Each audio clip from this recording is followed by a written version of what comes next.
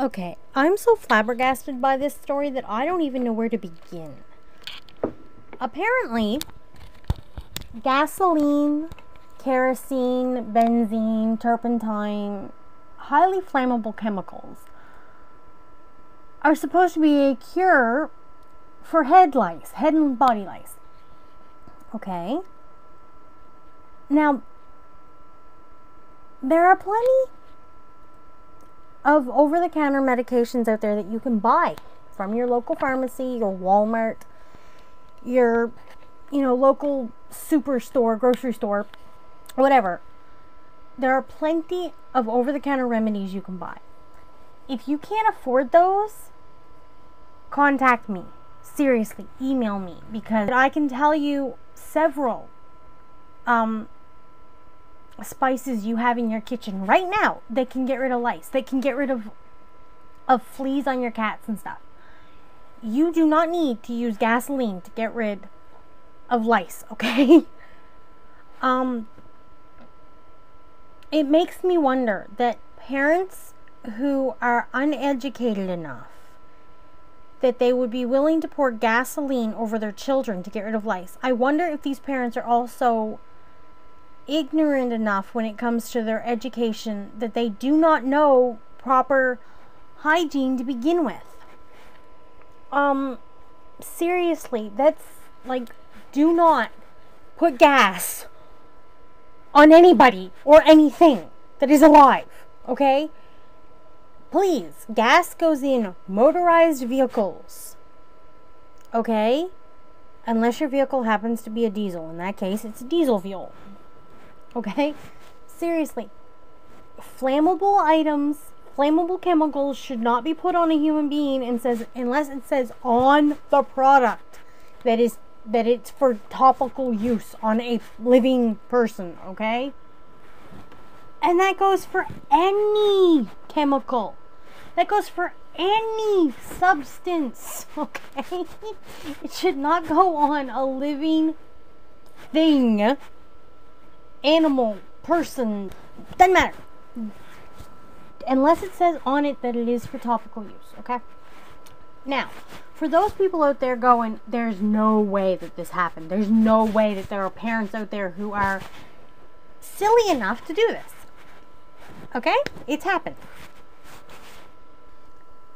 I'll try to list this the stories quickly. I don't want this video to run on forever. In October of 1989, in Pendleton, South Carolina, a five year old was hospitalized when the gas fumes were ignited by the pilot light on the stove. Same thing happened April of 1992, 16 year old girl in Tulsa, Oklahoma. In September of 1995, a 12 year old um, in Fort Worth, Texas, and her mother, so the 12 year old girl and the 40 year old mother, were both burned between 70 and 80% of their body when the mother poured gas over the young girl while she was smoking a cigarette. Okay? Not only did the mother pour gas over her kid, but she was smoking when she did it. Okay? Um, in 1996, September 1996, an 11 year old girl in Merrimac, Wisconsin, again, the pilot light ignited it, in July of 97, a 13 year old in Des Moines, Iowa. Again, uh, pilot light, this time on the water heater. In 1998, October 98, a four year old in Davie, Florida. The stove's pilot light lit her on fire. In August of 2000, a 12 year old in Aurora, Colorado was lit on fire when the pilot light on the stove ignited her. In September of 2003, a 13-year-old in Berkeley, California, was uh, was burnt to the point he lost all the fingers on his left hand, sorry, right hand, and two fingers on his left um, to amputation because of the severity of the burns. Now, for those of you out there saying, yeah, yeah, that was years ago, right? Like, I'm sure that it hasn't happened recently. You're think again in February of this year, 2009, okay, February 2009, An 18 year old girl in Evansville, Indiana suffered second and third degree burns over half her body after the pilot light of the nearby water heater ignited the gasoline used on her hair.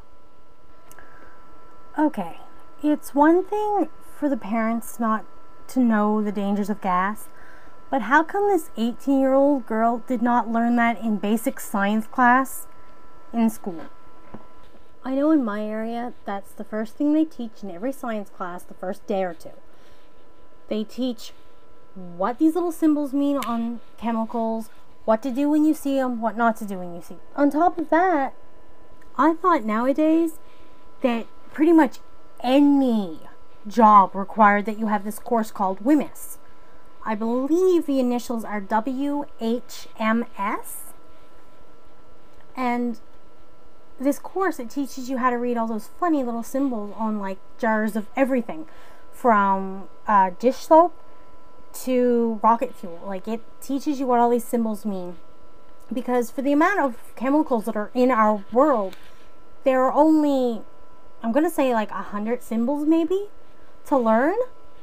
And you know what they mean what to do when you encounter them what not to do when you see these symbols.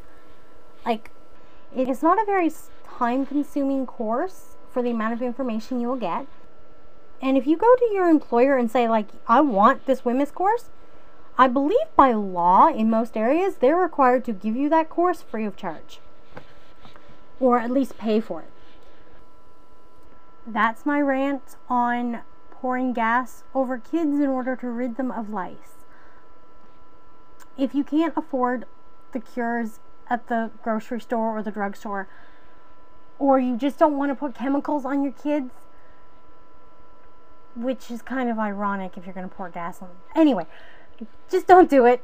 If you need an alternative to the store bought ones, contact me, email me, and I will go through my book of, of herbal, all natural remedies and I will get you a solution that will work for you, okay? Please just put the gas can down, step away from the pilot light, and have a good day. Thanks.